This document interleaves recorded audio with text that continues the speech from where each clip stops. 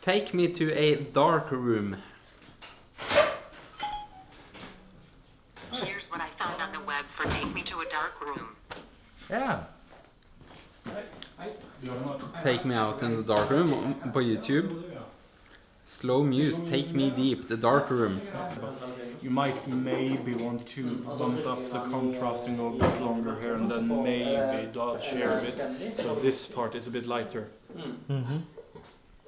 Maybe. I don't know. I don't know what you want. So.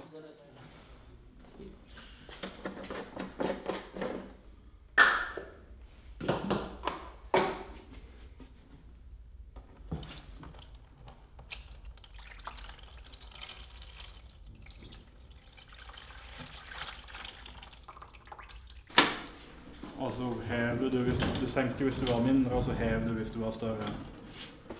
Og så eh, eksponerer du papiret over tid. Ja. Mm.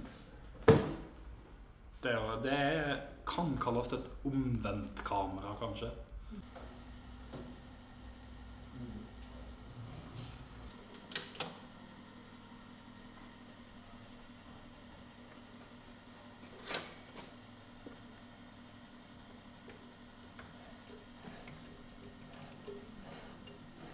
Det er ikke han. Ja, ok. Ja. Den skal fremkalles. Jeg har ikke med noen film framkalt i dag. Hmm. Jeg er framkalt i går. Jeg har fremkalt tre allerede i dag. Men Ja. Den her er en annen ISO, så da tar jeg den nå. Ja. Det er veldig enkelt kamera. egentlig.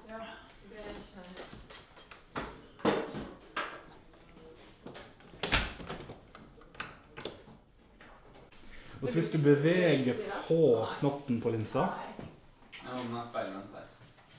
så, og når det er fullstendig overlapp, sånn at det ikke er to bilder, men ett inni den firkanten i midten, så er det i fokus.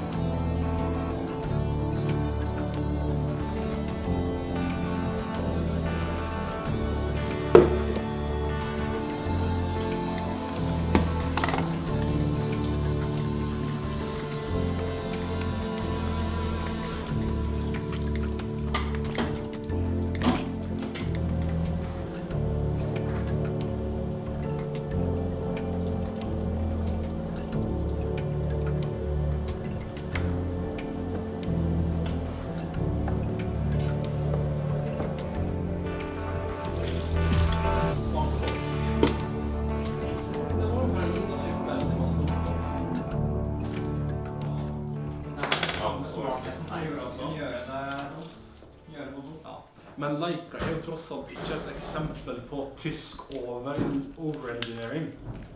Nei, Skal du se et eksempel på tysk overengineering, så er det jo Contax som gjelder. Oi. Shit. Her skjer ikke mye. Hmm. Jeg er enten vanvittig dårlig eksponert, eller så var det ikke to minutter ekstra fremkallingstid nok. Hvis du ser om den er fullstendig Hvis den er gjennomsiktig, så er det altså hvis den, er, den ser veld, veldig svart ut. Mm. Så den er nok eh, Du har nok eh, undereksponert, du. Ja. Dårn. Hmm.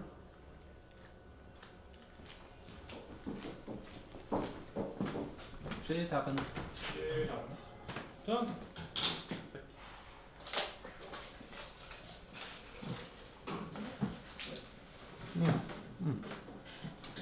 Er det ikke et svar?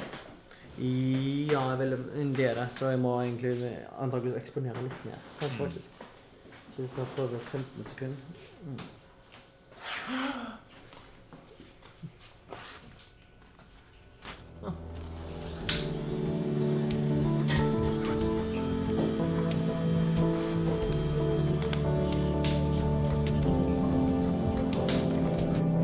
Fant pappaen din. Yes. Skal